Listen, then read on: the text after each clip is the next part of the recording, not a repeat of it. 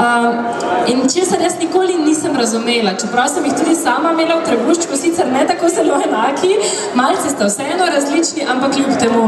Sara in Teja pridite na oder, dvojčici enaki kot jajce jajcu, lahko jima zaploskate. Um, in potem se začne zmeda, ne? ker nikoli ne vemo, katera je katera. Katera je katera? Sem Sara.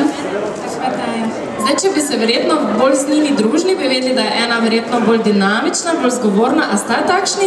Ok, no, moji dve sta malce različni, uh, tako da ni tako zelo hudo kot tukaj, ampak vem, da ati in mami vaju zagotovo ločite, ne?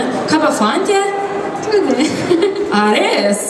Dobro, blagor njim. Uh, zapeli boste kar dve pesmi, kaj je tisto, kar bomo slišali kot prvo in potem še kot drugo? Ja, zapeli bomo najni skladbici, da je še enkrat se odločim pa simpatijo. A ste že kdaj morali kateremu to reči? Um, ne. Pa vse sta čisto isti, a ni vseeno, kjer ima katero. Potem bolj vidve odločata, ne, kaj bo katera imela. Evo, Sara in Teja, zaploskajte jima.